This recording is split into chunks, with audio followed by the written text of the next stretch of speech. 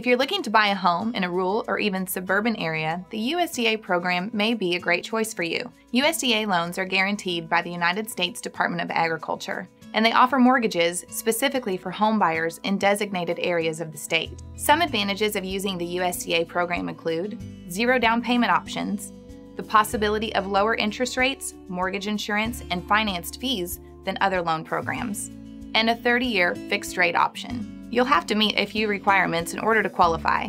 Some of these base requirements are a credit score of at least 620, you must live in a USDA eligible area, and your household income can't exceed limits in your purchase area. You can find those areas and limits at the link in this post. We're proud to serve borrowers all across the great state of Texas. If you have any questions or would like to find out if you're eligible for the USDA Home Loan Program, we'd be happy to help guide your way. Get started with the lender Texans Trust at woodgroupmortgage.com/start.